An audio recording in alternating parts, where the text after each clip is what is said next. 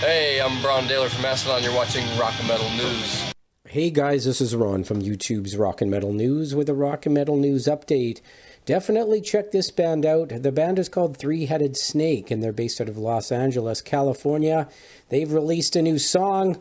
The band features lead singer Johnny Ray, who is just amazing, guitarist Sin Q, who played in Ministry.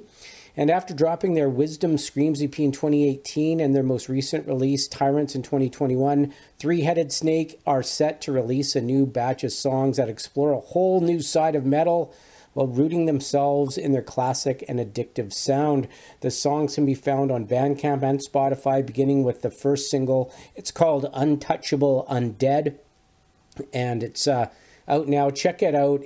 The link is in the description for the uh, song on YouTube. And I really want to know what you think of this. I think this is just very cool stuff. Can't wait for this album.